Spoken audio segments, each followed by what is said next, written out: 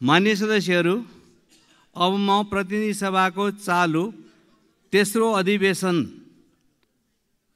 अवधिभर भए गरेका काम कारबाहीको संक्षिप्त विवरणको सम्बन्धमा यहाँहरूलाई जानकारी गराउँछु।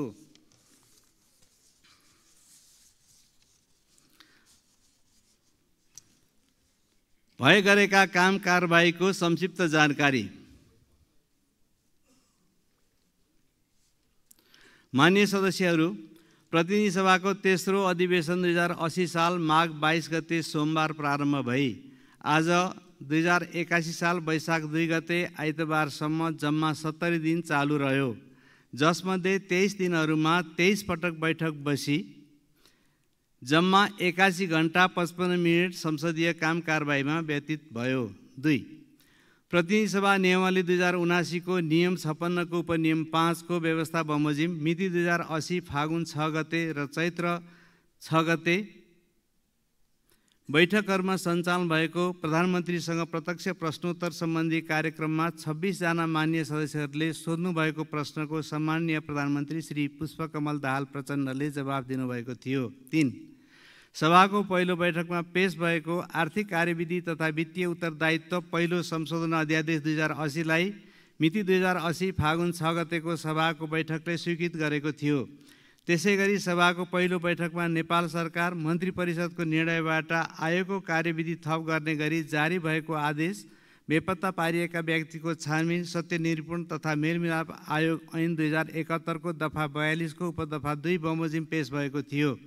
चार मिति दुई हजार असी फागुन तिस गतेको बैठकमा सम्माननीय प्रधानमन्त्री श्री पुष्पकमल दाहाल प्रचण्डले नेपालको संविधानको धारा एक सयको उपधारा दुई बमोजिम प्रतिनिधि सभाबाट विश्वासको मत प्राप्त गर्न प्रतिनिधि सभा नियमावली दुई हजार उनासीको नियम एक सय पचपन्नको उपनियम चार बमोजिम राख्नुभएको प्रस्ताव प्रतिनिधि सभामा तत्काल कायम रहेको सम्पूर्ण सदस्य सङ्ख्याको बहुमतबाट पारित भएको थियो। पाँच सभाको तेस्रो अधिवेशनबाट यस अधिवेशनमा प्राप्त दुईवटा सन्धि सम्झौताहरूमध्ये बिमिस्टेक बडापत्र बिमिस्टेक चार्टरलाई मिति दुई हजार असी चैत्र बिस गतेको सभाको बैठकले अनुमोदन गरेको थियो भने अन्तर्राष्ट्रिय सौर्य गठबन्धन आइएसएको स्थापनासँग सम्बन्धित सम्झौता framework agreement on the establishment of the international solar alliance ISA माथिको सामान्य छलफल प्रारम्भ भइसकेको छ।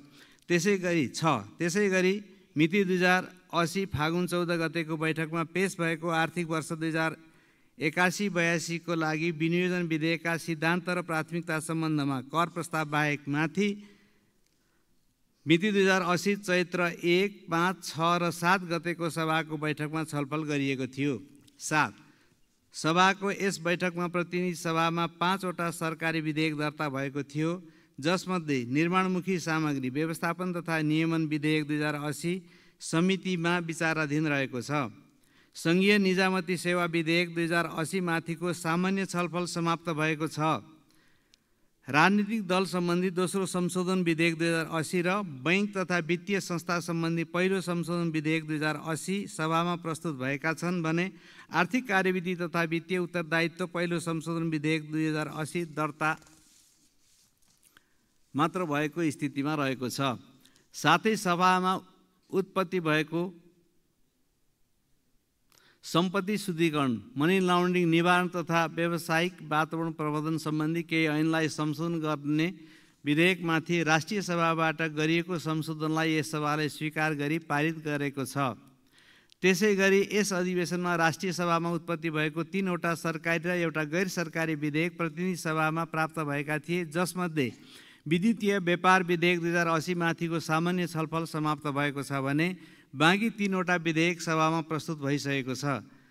त्यस्तै सभाको पहिलो र दोस्रो अधिवेशनमा राष्ट्रिय सभाबाट प्राप्त आठवटा विधेयकहरूमध्ये अनुगमन तथा मूल्याङ्कन विधेयक दुई हजार छयत्तर र खाद्य स्वच्छता तथा गुणस्तर विधेयक दुई हजार सतहत्तर सभाबाट पारित भएको छ भने बाँकी छवटा विधेयक सम्बन्धित समितिमा विचाराधीन नै रहेका छन्। यसरी सभाबाट यो अधिवेशनमा कुल तिनवटा विधेयक पारित भएका छन्। आठ त्यसै गरी प्रतिनिधि सभाको चालु अधिवेशनमा मान्य सदस्यहरूबाट दर्ता हुन आएका विभिन्न मन्त्रालयसँग सम्बन्धित पैँसठीवटा मौखिक र आठवटा लिखित प्रश्नहरूमध्ये बत्तिसवटा मौखिक र दुईवटा लिखित प्रश्नहरूको उत्तर प्राप्त भएकोमा सभाको दुई हजार असी चैत्र बिस गतेको बैठकमा छवटा मौखिक प्रश्नहरूको सम्बन्धित मान्य मन्त्रीबाट उत्तर दिने कार्य सम्पन्न भयो। नौ यस अधिवेशनमा प्रतिनिधि सभा अन्तर्गतको महिला तथा सामाजिक मामिला समितिको महिला तथा सामाजिक मामिला समितिको वार्षिक प्रतिवेदन दुई हजार असी पेस भयो। दस सभाको यस अधिवेशनमा प्रतिनिधि सभा सदस्य मन्जु शर्मा अन्सारी र संविधान सभा सदस्य केशव कुमार बुढाथोकीको निधन भएकोमा शोक प्रस्ताव पारित भएका थिए। एघार सभाको विभिन्न बैठकको आकस्मिक शून्य र विशेष समयहरूमा सभाका मान्य सदस्यहरूले समसामयिक एवं जिल्लामा घटित विभिन्न घटनाहरूको सम्बन्धमा सरकार एवं सम्बन्धित पक्षहरूको ध्यानकर्षण गराउनु भएको थियो। बाह्र यसै गरी प्रतिनिधि सभा नियमावली दुई हजार उनासीको नियम पन्ध्रको उपनियम दुई बमोजिम सम्मान्य प्रधानमन्त्री श्री पुष्पकमल दाहाल प्रचण्डले दुई पटक मान्य उप प्रधानमन्त्री एवं परराष्ट्र मन्त्री श्री नारायण काजी श्रेष्ठले दुई पटक र मान्य खानेपानी मन्त्री श्री महेन्द्र राय यादव एवं मान्य शिक्षा विज्ञान तथा प्रविधि मन्त्री श्री सुमना श्रेष्ठले एक पटक एक एक पटक आकस्मिक शून्य एवं विशेष समयमा उठेका प्रश्नको सम्बन्धमा जवाफ दिनुभएको थियो।